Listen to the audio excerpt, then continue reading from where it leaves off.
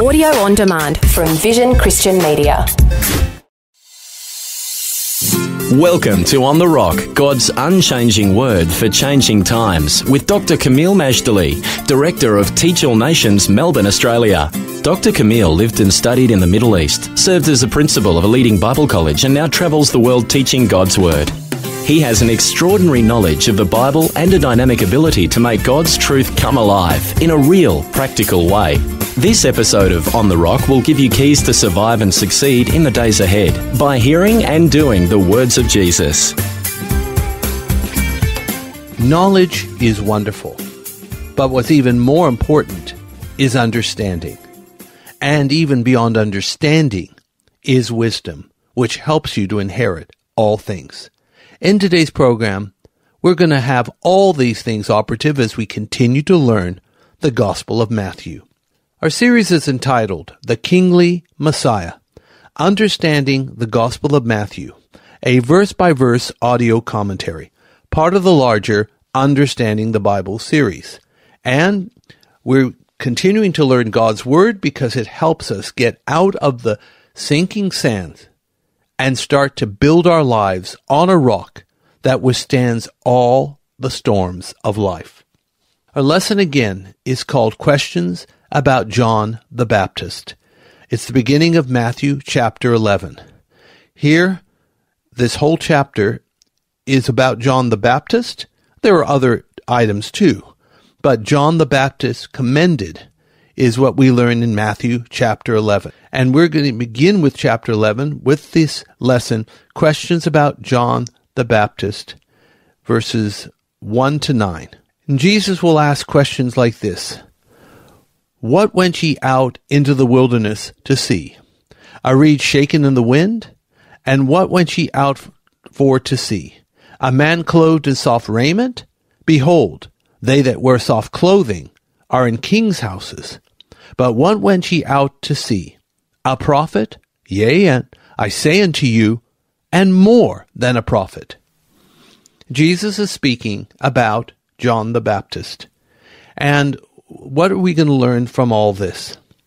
We're going to learn that John is the transitional character from the law and the prophets to Christ and the apostles.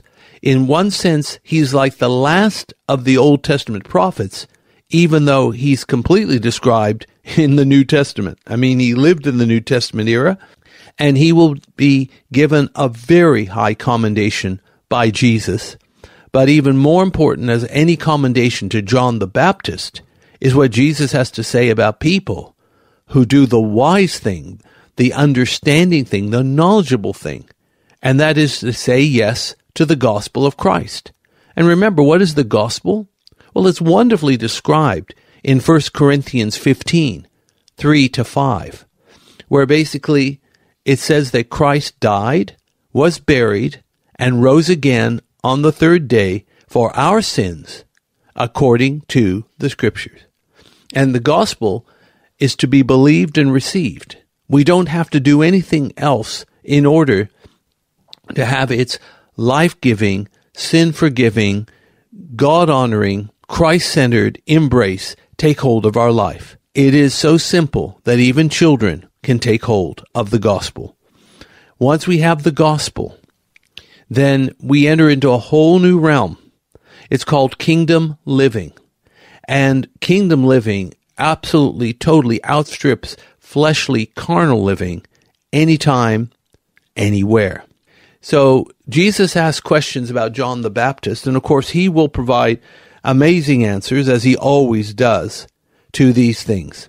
But I suppose what we need to focus on is as Jesus gives attention to the very man who happened to be a blood relative of his as well, but that was incidental.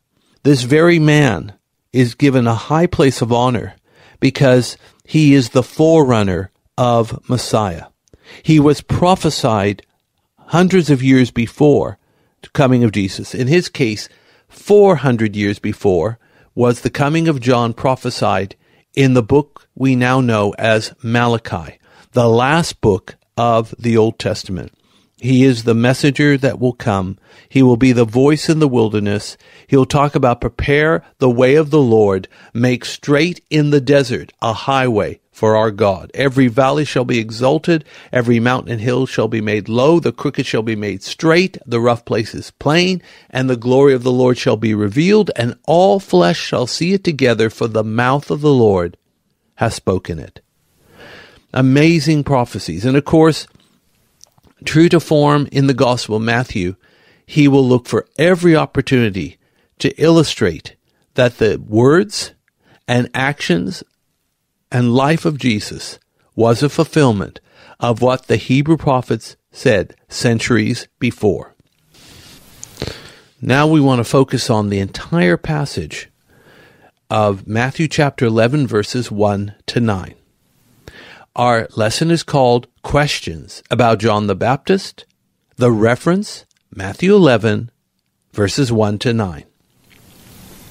And it came to pass, when Jesus had made an end of commanding his twelve disciples, he departed thence to teach and to preach in their cities. Now when John had heard in the prison the works of Christ, he sent two of his disciples, and said unto him, Art thou he that should come, or do we look for another? Jesus answered and said unto them, Go and show John again those things which ye do hear and see. The blind receive their sight, and the lame walk, and the lepers are cleansed, and the deaf hear, the dead are raised up, and the poor have the gospel preached to them.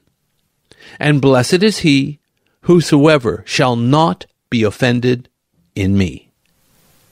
And as they departed, Jesus began to say unto the multitude concerning John, What went ye out into the wilderness to see? A reed shaken with the wind? But what went ye out for to see? A man clothed in soft raiment? Behold, they that wear soft clothing are in kings' houses. But what went ye out for to see? A prophet? Yea, I say unto you, and more than a prophet. Our reading is from Matthew chapter 11, verses 1 to 9, and our lesson is entitled Questions about John the Baptist. Well, we're going to teach and then preach. Actually, that's what Jesus did. Matthew 11, 1.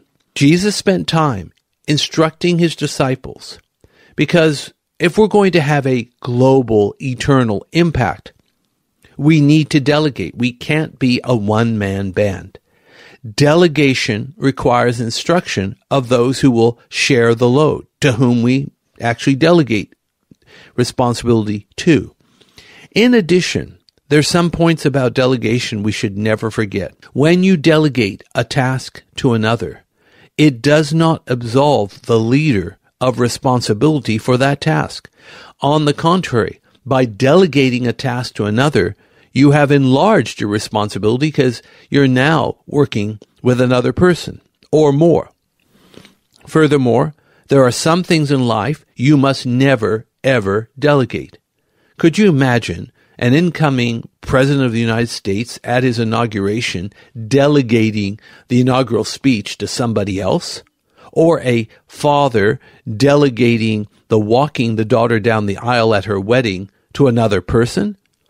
No way. There are just some things in life you can never, ever delegate. Now, that time of instruction has finished where Jesus was teaching his apostles who will go out in his name, preaching the gospel of the kingdom and doing mighty works in his name.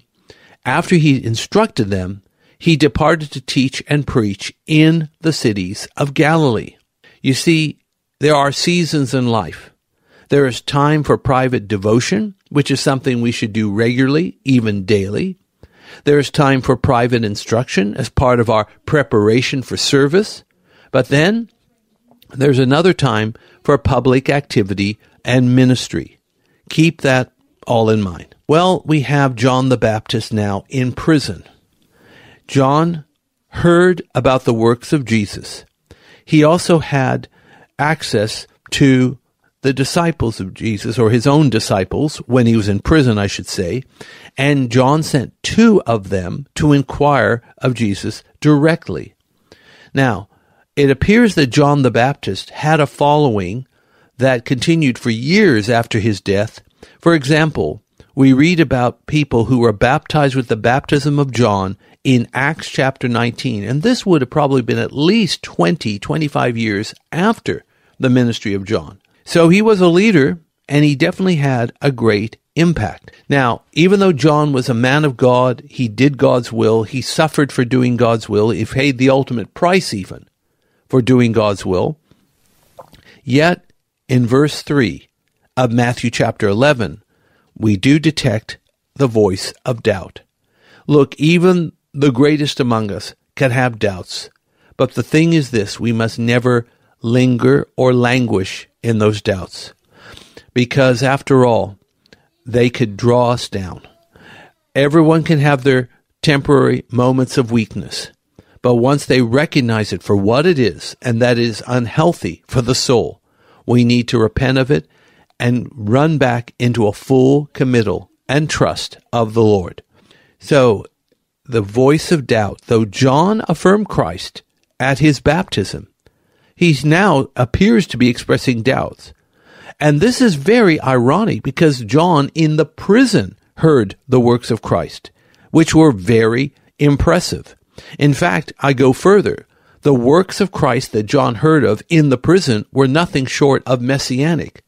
So he knew who Jesus was. He affirmed him as such. He's now hearing of the powerful works, but yet instead of saying, Praise God, mission accomplished, he's saying, Are you the one we are to look for, or do we look elsewhere? Remember, this is a righteous man who was unjustly suffering due to the unrighteous tetrarch named Herod Antipas and his wicked wife Herodias.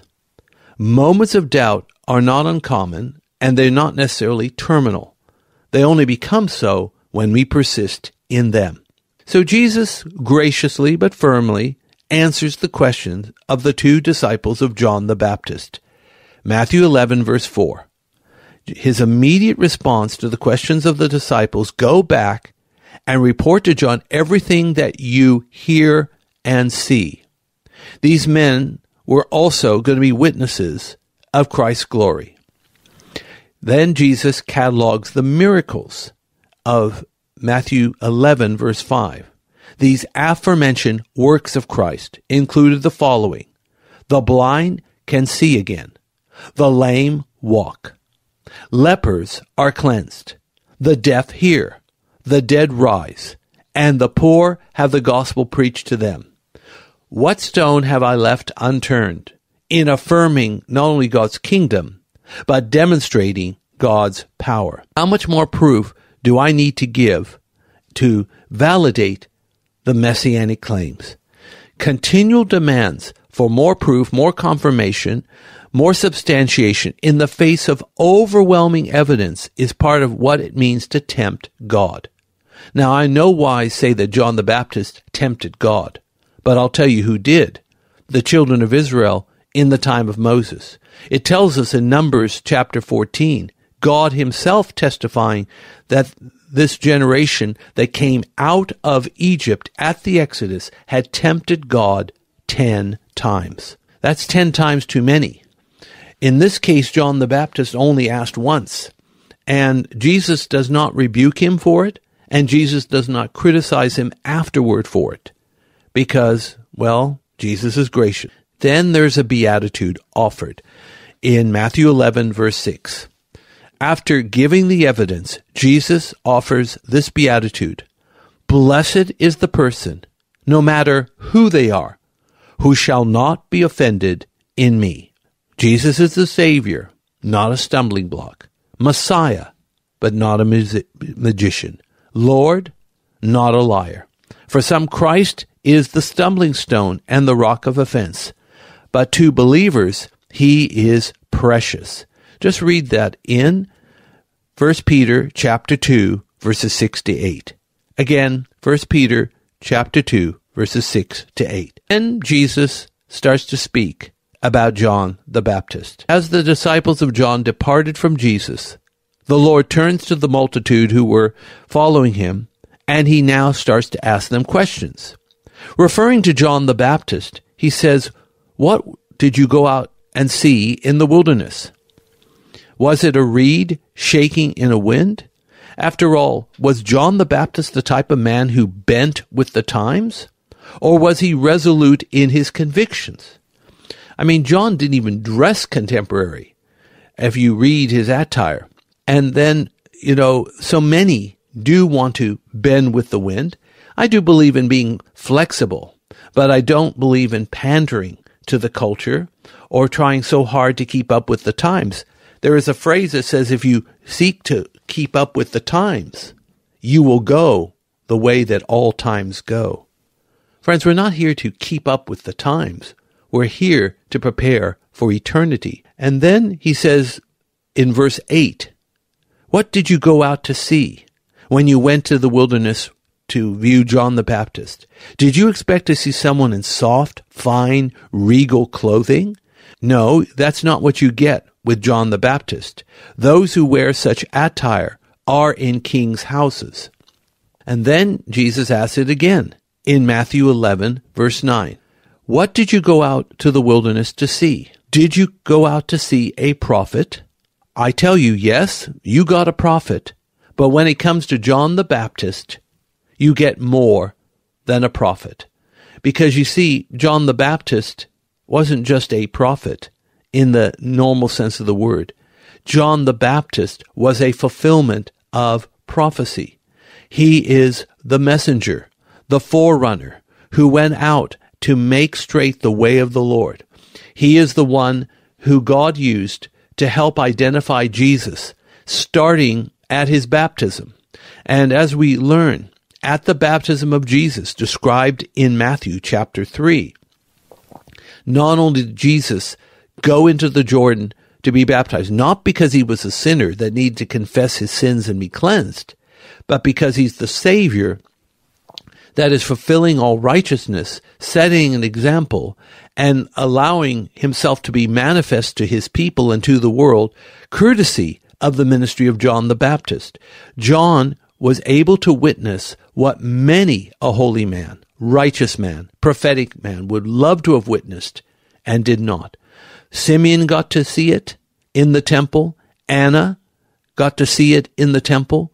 John the Baptist got to see it in the Jordan River, and that is the coming of the promised one, the Messiah, the son of David, the son of God. John the Baptist was like, how do you call it, the weather vane where the wind is blowing, pointing, this is the one that I said is coming after me. This is the one whose shoes or sandals even I am not worthy to untie. This is the one who, contrary to me, who baptizes in water, this one who's coming and is now present with us will baptize you with the Holy Spirit and with fire. John was the most powerful, in one sense, of prophetic voices. It is not unrighteous to say that he is the last of the Old Testament prophets, even though he is spoken of in the New Testament. He is the, shall we say, the changing of the guard from the law and the prophets to the Messiah and the apostles. Now, our lesson here is called Questions About John the Baptist. What is our lesson for life? Despite John's doubts under duress, Jesus, full of grace and truth, highly commends him. Remember to visit us at our Facebook page, Teach All Nations, Education, and thank you for liking our page. You can also go to our homepage at tan, and subscribe to the free monthly Issachar Teaching e-letter. We want to help you to become future ready with articles about the Bible, victorious living, and current events in the light of God's Word. Thank you, Heavenly Father, for teaching us about John the Baptist. Thank you that Jesus honored this man, and he deserved the honor. He paid the price, even the ultimate price, but no doubt he gains a great reward. May we all have the mindset of being faithful to the end so that we also can receive the crown in Christ's glorious name. Amen. Today's On the Rock was brought to you by Teach All Nations. If you would like more information about this ministry, to download podcasts, view our online store, attend special events, sign up for our teaching newsletter, make a donation to support this ministry, or to invite Dr. Kameel to speak, log on to www.tan.org.au or write to us at Post Office Box 493, Mount Waverley 3149. Thanks for taking time to listen to this audio on demand from Vision Christian Media. To find out more about us, go to vision.org.au.